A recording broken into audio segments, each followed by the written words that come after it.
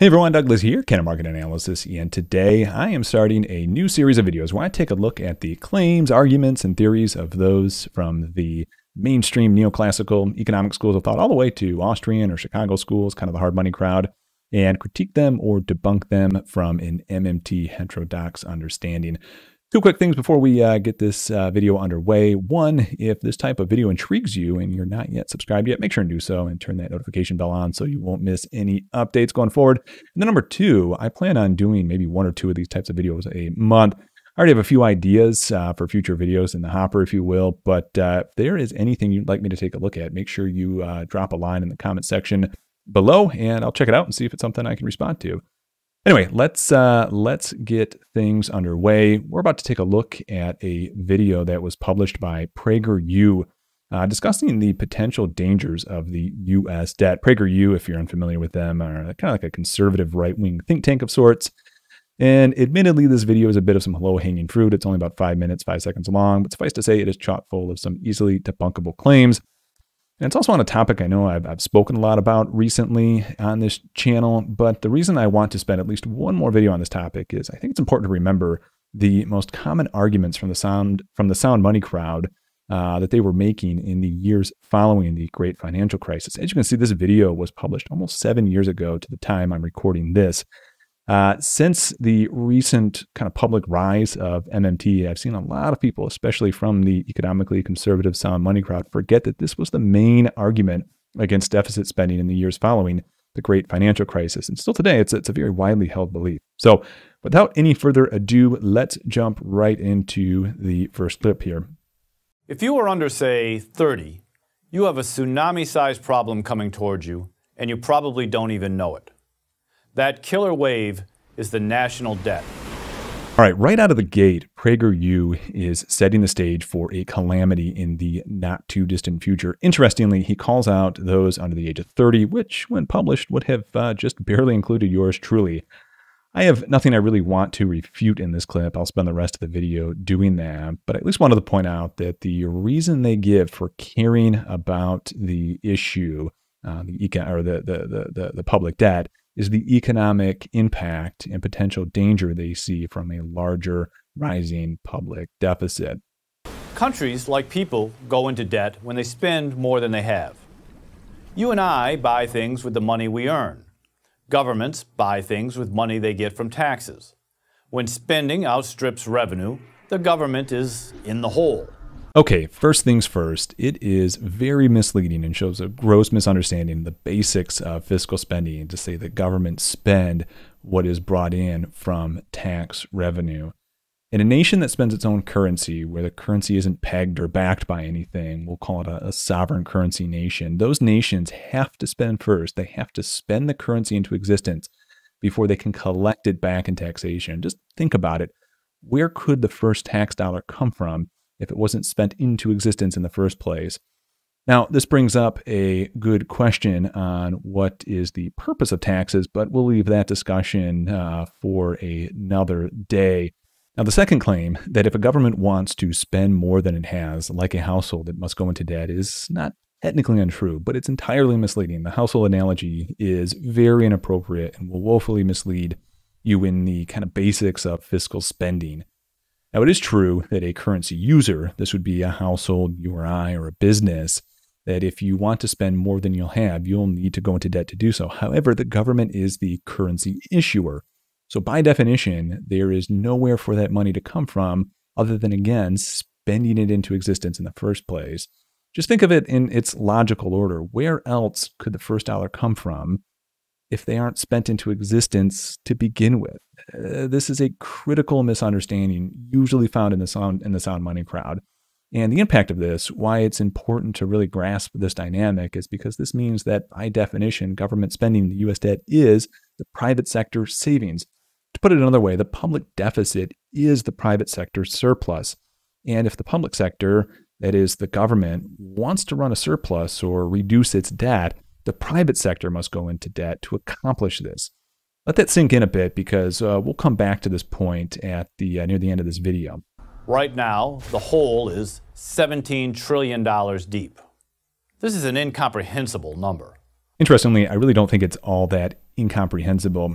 If you take what we were just discussing about the debt being equal to private savings and maybe ask a question like, how much is saved up in all 401ks? Well, you end up with about the same amount as the US debt. In other words, the total debt becomes quite comprehensible when you realize it's just the total savings for the private sector. Another way to look at it is there about uh, 28 tr- there's about 28 trillion in debt uh, for the US and about 330 million people in America.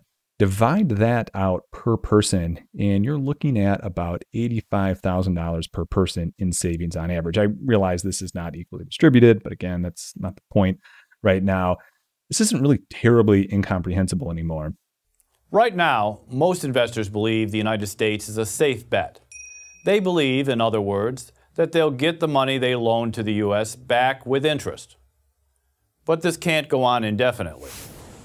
At some point, investors are going to say, You have too much debt. You're a bad risk. No more money.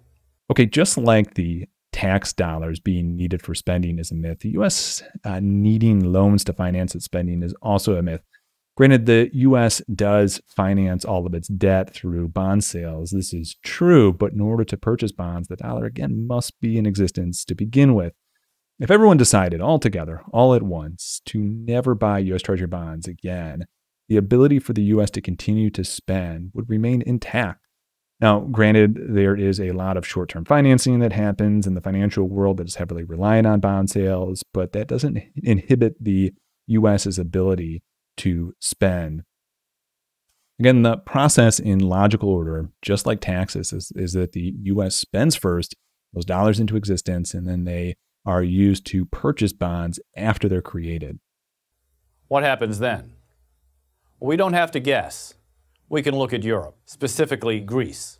Okay, here's the uh, the U.S. is going to turn into Greece claim. If uh, if you're relatively new to the macro investing world, you may think this is a bit of a silly argument. But following the European sovereign debt crisis, the argument that the U.S. was going to turn into Greece was kind of all the rage. Everyone every business news channel was explaining how if the U.S. doesn't cut its spending, uh, they're going to become Greece. Obviously, years after uh, this is all played out, it's kind of a goofy argument looking back. But the reason why the US was never going to become Greece in the first place is because the monetary and fiscal policies in place are polar opposites. The US, uh, as I was explaining earlier, is a sovereign currency issuer. Their spending happens when Congress and the Treasury want it to happen. Greece, on the other hand, and uh, every member nation to the Eurozone, for that matter, does not have sovereign control over their spending they do have to borrow to spend.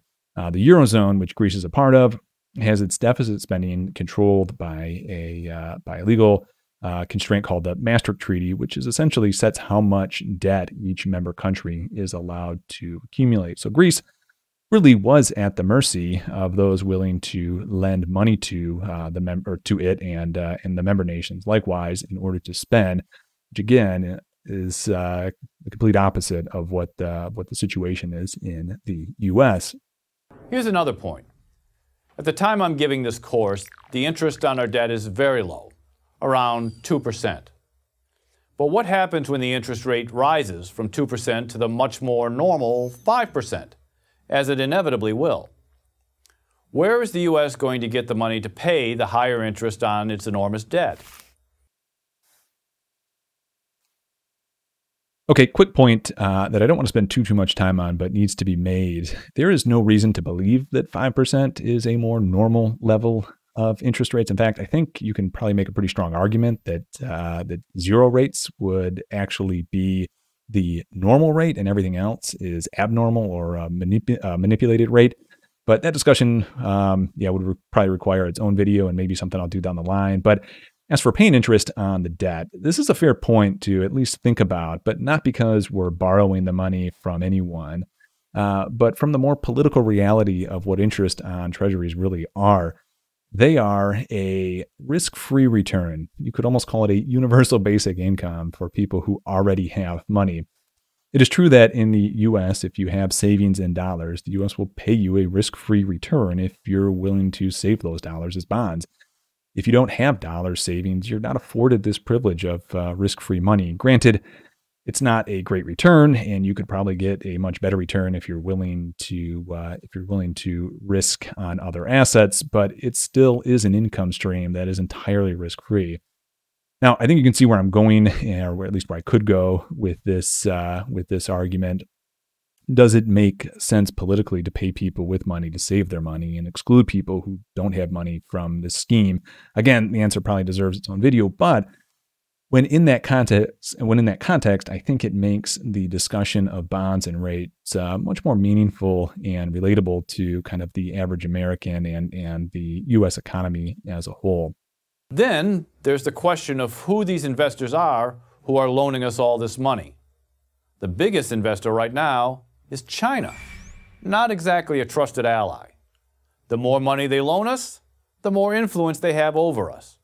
Maybe they'll never exercise this power, but do we really want to give them the option? Okay, China is not lending us money. What actually happened is the US had bought and still continues to buy Chinese goods and services and China, in return, has used those dollars that they received from US citizens and corporations buying Chinese goods to buy bonds. China has no control over the US because of this reality. The US received real goods and services, and China received dollars, which they are saving in the form of bonds. Again, the real question to ask here is a more socio political economic question. And that is what is the risk of the US not being able to create or manufacture the goods and services domestically that they have bought from overseas counterparts. Again, a discussion for another day. But at the same point, if China or any other country decides it no longer wants to manufacture the goods and services um, that the U.S. consumes, the U.S. will need to produce them domestically. And admittedly, this does pose a real economic threat, but it's not a financial threat as this video implies. And consider one final point. Is it moral to saddle future generations with this massive debt they had little or nothing to do with? How would you feel about yourself if you knew that you were leaving your children on the hooks for debts you incurred during your life? You had a great time living in a big house, driving a nice car, but you never paid for these things. You left it to your son or daughter to pick up the tab. That's why the people who should care the most about the national debt are young people. They're the ones who will be stuck with the bill.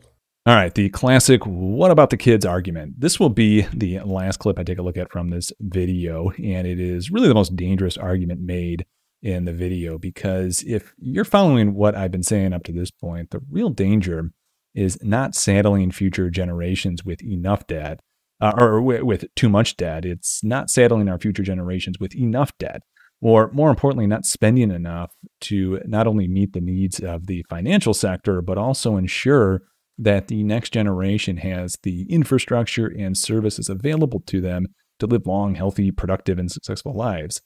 Listen, if you're in retirement age, you've lived through some of the greatest prosperity that the U.S. has ever seen. There are uh, a multitude of institutions and infrastructure that are all in place because the U.S. chose to spend on them. This is the legacy you will leave the next generation. The debt is just the accounting for what that looks like. So, to bring this back around now to investing, the main theme here is that the US is at risk with a large public debt. And the point of this video is to convince viewers that the large public debt load will cause them some economic harm in the future. Now, I realize that this video is not trying to give any investment advice, but if people who watch this came to any economic conclusion it would have to have seen the ballooning deficit over the last seven years since this was recorded um, and consider that a major risk factor. Many perma bears along the way have been in this camp for this very sole reason. Eventually, the debt will catch up to us and we'll have uh, runaway inflation or run, runaway rates. And I, am sure you've heard these arguments and stories, but the, ex- the exact opposite is, is true.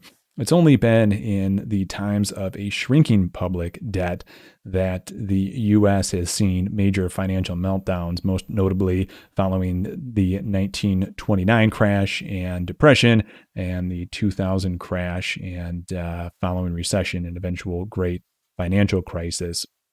Uh, following even the most basic uh, understanding of MMT that uh, that the public deficit is the private sector savings, you'll quickly realize that a tsunami of federal debt does not pose an economic threat. Instead, the exact opposite tr- is true. The largest threat is to find ourselves in a desert wasteland of no fiscal spending.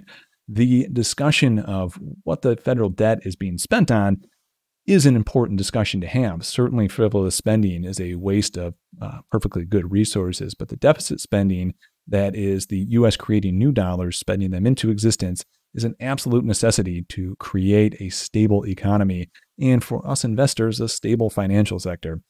So I'm going to wrap this video up here. He goes on to talk about a solution to the supposed problem. Obviously, if the problem is uh, is uh, based on a misdiagnosis, uh, the cure won't fix anything. So that's it for this one. Uh, don't forget, if you're new, make sure you uh, hit that subscribe button and turn on the notification bells. And uh, if you found this video specifically uh, are quite uh, helpful, make sure you hit that like button as well. And then last but not least, if you're an active trader, active investor, and you uh, you like what I'm doing here on this channel, merging MMT, heterodox, macro view with Elliott Wave and technical analysis, make sure you check out my Patreon page, patreon.com slash canonma for multiple extensive updates each week. Otherwise, good trading, everyone, and we'll see you next time. Bye-bye.